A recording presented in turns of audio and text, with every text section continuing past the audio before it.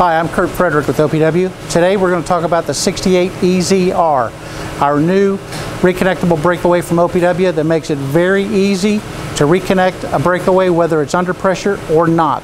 You're really going to like this. In every single box, with every single breakaway, you get installation instructions. The front page covers the installation instructions. The second page covers the reconnection properties and instructions for the breakaway. Okay, we're going to show you how to reconnect this, but before we do so, we want to show you some important things to do prior to reconnection. You have the upper half and the lower half.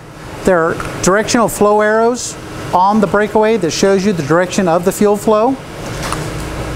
And then there's some important lubrication of surfaces and seals that need to take place prior to reconnecting. Okay, what we're looking at here is the upper portion of the breakaway. We know that because it says OPW 68EZR right here. We also see the directional flow arrow right here. So flow is coming down through the top of the breakaway and will exit out the bottom. Now what we want to focus on is the underside here where you can actually see the sealing O-ring located right in this area right here.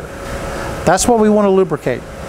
In this particular case, we're going to be using just petroleum lubricating jelly on a Q-tip, and we're just going to liberally apply it on the inside of the sealing surface to make sure it's completely covered.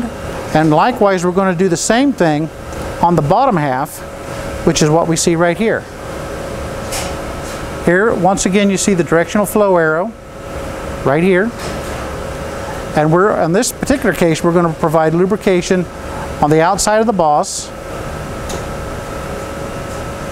as well as the inside of the mechanism and the leading chamfer. Okay, to reconnect the breakaway, we first align the two tabs identified on the breakaway body. We're going to press firmly and then we're going to rotate the bottom in the direction of the arrow as shown. You'll press firmly, you'll rotate, you should be able to feel it and hear it as it reconnects. So we're going to press and rotate you should have heard an audible click.